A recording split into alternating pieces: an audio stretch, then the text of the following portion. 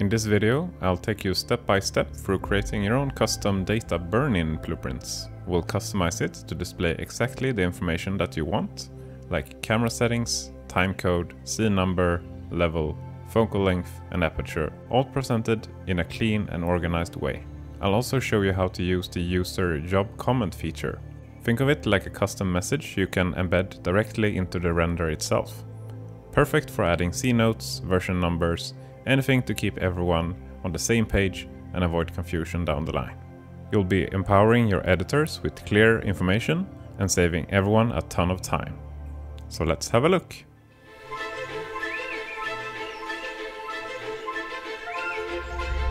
So first off I'm going to uh, show you how a few things are set up before we dive into the uh, data burn-in blueprint. So here is a scene I've created with a skeletal mesh, uh, Camilla, playing a small monologue I wrote, and the audio is created using AI. Look, I'm telling you, I don't know what happened to Michael. I saw him the other day, but after that, I don't know where he went. Honestly. This animation is placed in a level sequence where we have the skeletal mesh with its animation and an audio track. In my cameras folder, I have uh, three different uh, level sequences with uh, one camera referenced in each sequence. Uh, I also have a nested subsequence for the animation track with Camilla and her animation. Then finally I have my edit, which has a shot track where I've added my camera tracks. So I can use this information in the data burn-in later to see which camera is actively playing. So with all that out of the way, let's jump into blueprints and start creating our own custom data burn-in. So you can of course start from scratch uh, by creating your own custom widget. We aren't going to do that, however, we're going to uh, jump ahead in time by using the default one and then customize it instead to our needs. So select all in the content browser and type in burn in. Here you will find a few different assets called uh, default burn-in. However, it's this one that we need, the one with the small strips. So simply select this one and then uh, copy it by hitting Ctrl C. Paste it wherever you want. I'm going to place it here in the uh, root folder. Now we want to start by renaming it. So I would suggest that you start with widget blueprint underscore whatever you want. Double click it to go into the blueprint editor. First off, we have two different views. We have the designer view up here to the right, and then we also have the graph view. We'll be working in both of them, and we'll start with the designer one. Alright, so let's start by changing the font. So I'm going to change this here under font, font family, to Roboto instead, or Roboto. You can also uh, upload your own fonts uh, by using the content drawer if you have a font that you prefer to work with. You can of course shift select to select multiple at the same time. On this one, this is a, a custom user job comment. It's under here, text style, then font, font family, droid sans mono. I'm going to change this to Roboto. Now also, I think this one is a bit too close to the bottom. So I'm going to add some padding. So we'll toggle down padding. You can see that under bottom it's 2 pixels. I'm going to change this to 4 instead. Alright, then you can of course also change the size. I'm going to use 14 for now.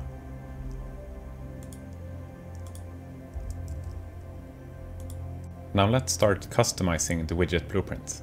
In the top center here, we actually have a small text block that you can type in. Uh, however, it's empty as of right now. So let's select it to the left here, where you can see top center. And then under uh, the text, text, let's type in the name of our project. So I'm going to type in Tiedtke burn in. We also need to change the font of this one to Roboto, 14 for the value. Also worth noting is that you can of course change the color if you want to have something else. Alright, let's start moving things around and adding our own information as well as subtracting information that we perhaps don't need in our project. So let's start in the top right corner. If we select the top right one here, you can see that it says branch dev editor. This will display the engine version of Unreal. Personally, I'm not going to use this information, so I'm going to replace this and type in camera timecode. And then let's jump into the graph. Here you can see everything that's going on to get the information, uh, which is then displayed in that uh, comment box. We're not going to use this information. Instead, we're going to disconnect this one. So instead, we're going to have this one go into a set text. Let's select this one and copy it and then paste it. Then we're going to get uh, top right. Get top right. And what text do we want this to show? We want to have it show a get cur current segment name. And this will show you the camera sequence. So select the outer name into the in text, like this. Then compile and save. Right, let's jump back into the designer. This is only a placeholder text. So uh, let's not get confused. And re let's replace this text by typing in camera here. So we know that this will show you which camera it is. Here you can see the result of what we just did. So you can see that we have our custom name up here and we also have our cameras up here. And perhaps you can see that there's a number after the cameras. So if we zoom in, zoom in here because it's uh, quite small, you can see that uh, this number represents how many times this camera has been active in the main sequence. So you can see that this is the first time camera 2 is active and then it will cut away. And then camera 2 is active once again and it adds a number to show you how many times the camera has been active. Next up, let's tackle this issue here. That we have our focal length. You will also have a similar issue with the uh, focus distance. And perhaps you want this, but if you're like me, you don't want this, then we'll uh, simply remove this number and round these values up to a more even number. Let's jump back into the graph view and then go to update bottom center.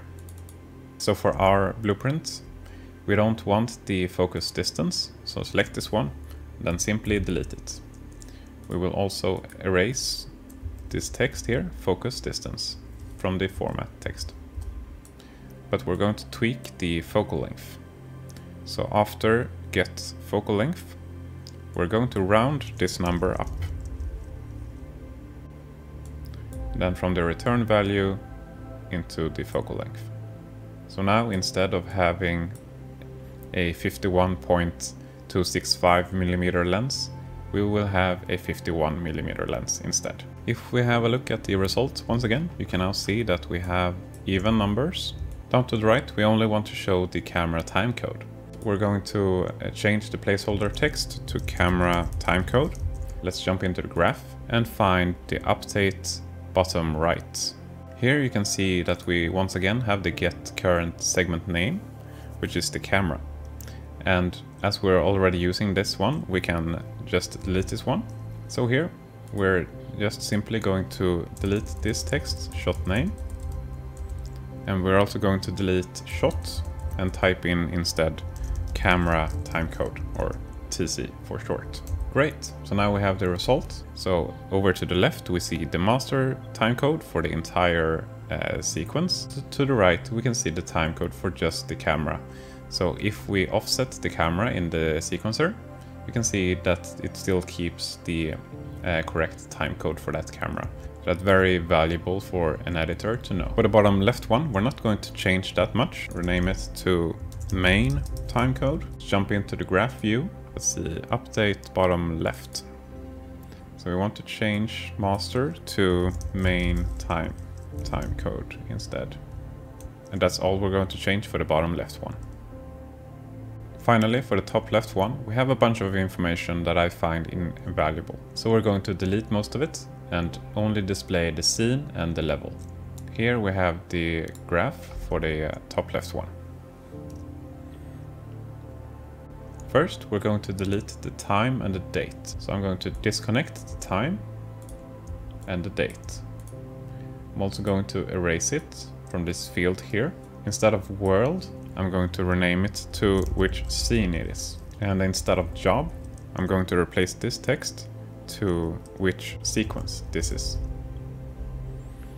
So we have sequence, sequence name, scene, world name.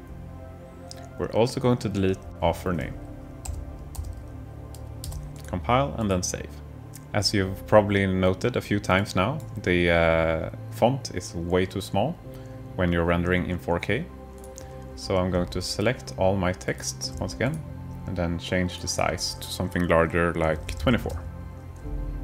So after our tweaks here, this is our result. We have a much more clean data burn-in with rounded numbers and a custom name for our project up here. And then we can of course tweak it even further by adding more information if you want. I'm going to show you one more helpful information tidbit. That is the user job comment.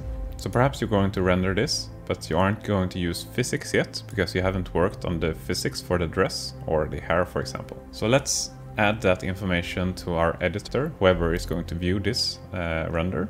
So, so you can show them that this is just a work in progress. Here you can customize how the user job comment looks like. So since we changed the font size for this one, for the other ones, I'm going to do the same for this one. So I'm going to increase the size to 24 instead. Let's jump into Movie Render Queue and start doing some rendering. I've already added my preferred render settings here, so I'm going to render an Apple ProRes and then do some anti-aliasing, etc. When you're done with adding your own custom settings, you want to add a burn-in. Here, it's going to ask you which data burn-in widget blueprint you want to use. So we're going to use the one we just created. Just before you hit render, select the uh, sequence, and here you can see that you have comment. So if we type in something here, so for example, the example I mentioned uh, earlier, proper simulation first. For example, you can type in whatever you want here. Then let's render this. You can see our custom comment here. You can also see that I misspelled must, but uh, yeah, you get the point. I hope you found the information in this video helpful and perhaps you did uh, yours or your editor's life just a bit easier. You can of course add more information if you want. If you don't feel like following this tutorial or you just want a very quick set file for the data burn-in, I will leave a link down below where you can download my custom template from my Gumroad page, totally for free of course, to get you started more quickly. Don't forget to subscribe if you want to see more content like this on my channel. And uh, thank you so much for watching and goodbye.